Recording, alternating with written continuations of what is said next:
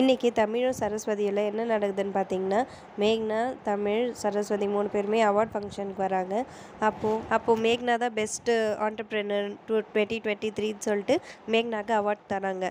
மேக்னா என்ன பண்ணுறாங்கன்னா அது வந்து தமிழுக்கு தான் போய் சேரணும்னு சொல்லிட்டு மைக்கில் அனௌன்ஸ் பண்ணிடுறாங்க இது கண்டிப்பாக தமிழுக்கு தான் போய் சேரணும்னு சொல்லிட்டு அந்த அவார்டை வந்து தமிழ் கொடுத்துட்றாங்க. தமிழ் என்ன பண்ணுறாங்கன்னா இதுக்கெலாம் நீங்கள் தான் மேம் காரணம்னு சொல்லிட்டு மேக்னாவை சொல்கிறாங்க அதுக்கப்புறம் மேக்னாக்கு பிஸ்னஸில் ஆப்போசிட்டாக இருக்கிற ஒருத்தர் வயசான வயசானவர் வந்து மேக்னாக்கு வந்து கங்க்ராச்சுலேஷன் சொல்லிட்டு இப்போல்லாம் இப்போல்லாம் எங்கள் திறமைக்கு அவார்ட் கிடைக்குது?